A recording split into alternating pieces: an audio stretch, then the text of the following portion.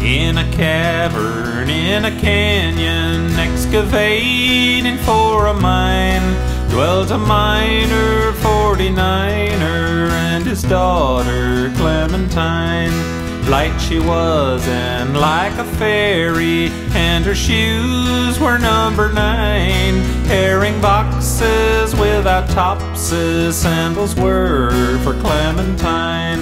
Oh my darling, oh my darling, oh my darling Clementine, you are lost and gone forever, dreadful sorry Clementine.